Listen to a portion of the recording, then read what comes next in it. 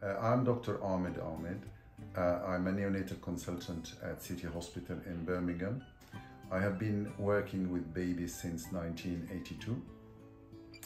Uh, although I have seen improvement in uh, the number of babies receiving uh, breast milk, um, but we would like all our babies to benefit from this.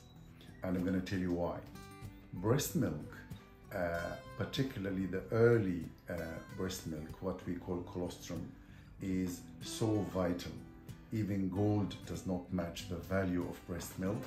Babies, when they are born early, they are at risk of having immediate uh, serious health issues and also long-term problems. And breast milk has been proven to uh, protect them from serious complications that can happen early, like uh, uh, infection of the bowel, um, and also uh, improve their long-term outcome when it comes um, for things like the vision, the brain function, um, how intelligent they might become, uh, the health of their lungs, um, and this is also um, uh, proportionate to how much milk they get. So the more milk they get, the, the, the better the outcome is. So we would like you to start expressing as early as possible and give us even few drops of that milk. The team, uh, the neonatal team will give that milk to your baby as soon as possible. Hi, my name's Louise Thompson. I'm infant feeding coordinator at City Hospital. You've probably been to Prem Prevention Clinic and received a bag with some syringes in it like this. This bag's really important um, because you may need it when your baby's born. Just remember, if your baby's born prematurely, you need to start expressing in the first hour to two hours of life to get your expressing off to the best start. Did you know your milk is like medicine and that's why we want to give it to your baby as soon as possible.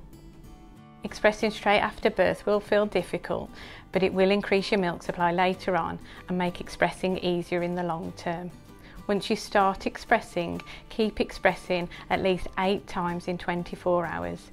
Even if you don't see any milk, stimulating your breasts with hand expression will help your milk supply.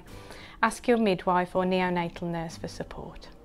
Remember, colostrum can look watery or very pale yellow, but it is medicine for babies born early. So collect whatever you produce in syringes that we can provide you and then we can give it to your baby. Even tiny amounts can be given to your baby and will make a difference.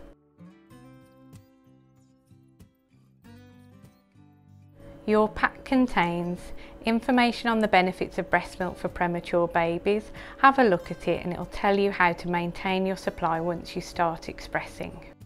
Some syringes to express into. If you don't get any milk, don't worry, keep going and get support from the midwives. Your milk will come if you keep expressing. And the infant feeding team card. You can contact us anytime during your pregnancy and once baby's born and we'll try and answer any of your questions and support you. Just leave us a message on our mobile.